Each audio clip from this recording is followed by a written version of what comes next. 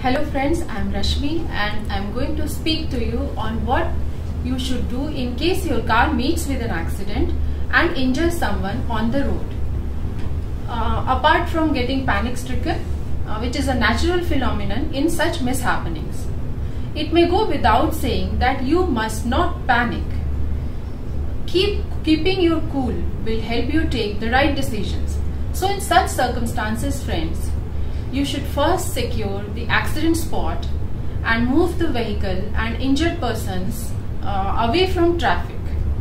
However, please ensure that you do not move away seriously injured persons and call for immediate medical help. Also inform the police. Before your vehicle is removed from the spot, please ensure to take photographs of the vehicle and uh, of all the injured persons. Also, exchange only the relevant information like your name, mobile number and insurance policy details and no personal details should be shared. Friends, mostly injured persons can lodge a third party injury claim against your motor insurance policy.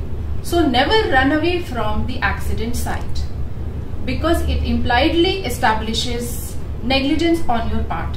Further, any admittance of guilt also establishes negligence on your part and it may saddle you as well as your insurance company with total liability whereas actually it could be a case of contributory negligence of both the parties and liability could be reduced. So friends, don't become a victim of such circumstances. Be wise and always be a good Samaritan. Thank you.